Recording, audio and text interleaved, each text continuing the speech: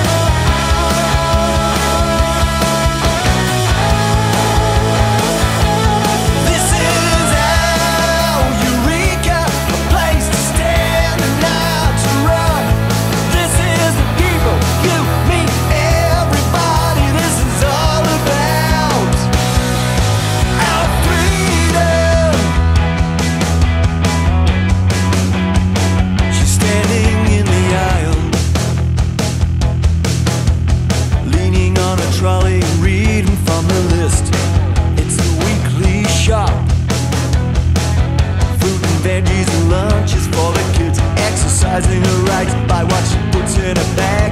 It's the power of a dollar.